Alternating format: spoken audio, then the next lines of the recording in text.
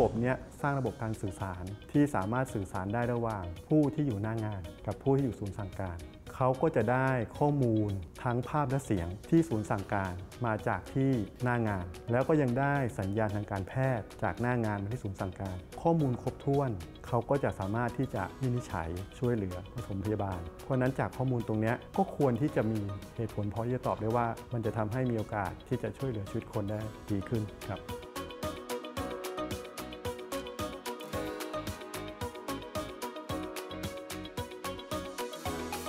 ต้นจากการพูดคุยกับเพื่อน ที่โรงพยาบาลราชวิถีครับเขาก็เล่าปัญหาว่าที่ศูนย์การแพทย์ฉุกเฉินของเขาเนี่ยงานเยอะจะประสบปัญหาอะไรบ้างนะแล้วก็เกิด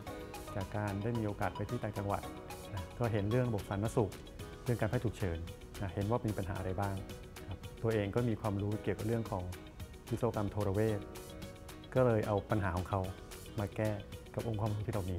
อุปกรณ์หลักๆ นี่แบ่งได้เป็น เเริ่มต้นจาก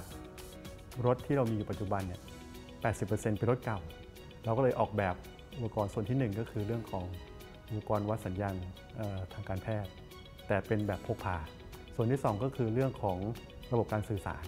ก็เปลี่ยนจากโทรศัพท์มือถือที่มีเนี่ยเป็นแว่น แว่นเหมือนโทรศัพท์มือถือ เห็นภาพและพูดคุยได้ โดยสวมใส่นั้นมือทั้งสองเขาก็เลยจะช่วยเหลือคนไข้ได้ ส่วนที่ 3 ก็คือระบบควบคุมทั้งหมดก็คือ จุดเด่นของงานเลย คือตัวของพัฒนาซอฟต์แวร์ ที่จะควบคุมระบบทั้งหมด ซอฟต์แวร์แบ่งเป็น 3 ส่วนหลักๆ ส่วนหนึ่งคือระบบเอกสาร เหมือนเวลาเราไปโรงพยาบาล เราจะมีระบบเวชระเบียนนะเพื่อที่จะประวัติคนไข้นะครับ เอกสารอันนี้ก็จะมีทางเลือกคือว่าบางทีไม่ต้องมาสืบค้นมาก ระบบเนี่ยมันจะ gen เป็น QR code แล้วก็แปะไว้กับคนไข้ แล้วก็ไปสืบค้นได้ว่าคนไข้เนี่ยเหตุเกิดที่ไหน แล้วค่อยไปสืบค้นว่าใครเป็นใคร ส่วนที่ 2 ของซอฟต์แวร์ก็คือ เรื่องของการรับข้อมูลทางการแพทย์ จากอุปกรณ์ที่กล่าวมาตอนต้น เรื่องของวัดสัญญาณชีพเป็นต้น ส่วนที่ 3 ก็คือเรื่องของการ monitoring เรื่องของเส้นทางตำแหน่งให้ศูนย์สั่งการเนี่ยกำหนดได้ว่าเคสเนี้ยเมื่อรับเรื่องเข้ามาแล้วรถคันที่ 1 2 3 4 5 ของหน่วยงาน คันไหนออกไปปฏิบัติหน้าที่ สามารถติดตามว่าออกกี่โมง ถึงหน้างงานกี่โมง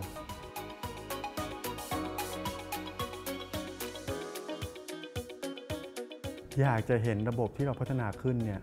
ถูกขยายการใช้งานออกไปจริงๆ ให้ครอบคลุม เพราะว่าอย่างที่กล่าวตอนต้น รถที่เรามีส่วนใหญ่ 80%จากสถิติ เป็นรถที่เก่า ไม่ใช่รถที่มีคุณภาพชั้นสูง ซึ่งมีราคาสูงมาก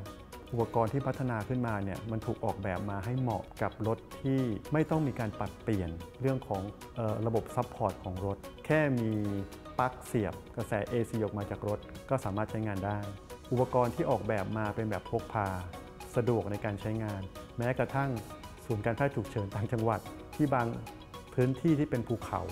เป็นรถมอเตอร์ไซค์ก็ยังสามารถใส่กระเป๋าพกพาได้ ก็เหมาะกับการที่จะเอาไปใช้งานจริง คือสิ่งที่ทำขึ้นมามันอาจจะไม่ได้เป็นสิ่งที่ทุกประเทศหรือชาวโลกเขาต้องการ เพราะว่าเขาอาจจะมีความพร้อมกว่าเราในแง่ของรถ กู้ชีพของเขาที่มีคุณภาพสูง แต่ในประเทศไทยเรา ผมคิดว่าเรายังมีความจำเป็น กับสถานะปัจจุบันที่เรามี คือรถส่วนใหญ่เป็นรถเก่าทำยังไงหรอทำให้รถเก่าพวกนี้ติดปีกแล้วทำงานได้ดีขึ้น support ระบบสาธารณสุข ในส่วนของการแพทย์ฉุกเฉินได้